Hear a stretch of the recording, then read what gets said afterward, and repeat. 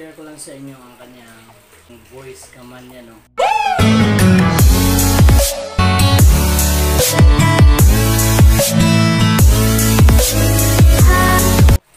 Yes. Ito na yung GoPro Hero 7 Black. So, share ko lang sa inyo ang kanyang saka yung voice command niya, no? So, hindi, hindi na kayo pipindot. Bale, magsasalita lang kayo kung paano siya papaganahin. Hero 7, ang bili natin is 15,240 sa Lazada. So, ang ano niya, supplier is from Hong Kong. Ang tagal nating nakuha pero sulit naman kasi ang ganda ng item. Alright! Simulan na natin ang voice command ni GoPro Hero 7. So, ito na mga idol, i-voice command na natin si Hero 7.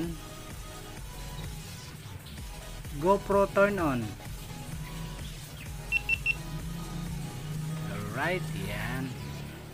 So, yan po no. GoPro take a photo. Alright, yan. So, nag-take a photo siya. Ayan yung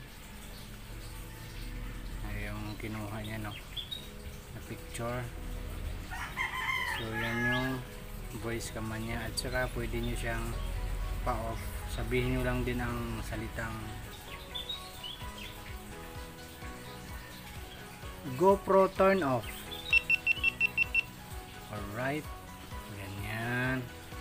so voice command siya pag naka-helmet kayo yun eh sasalita lang kayo ng sabihin nyo lang na GoPro turn on Alright, yan.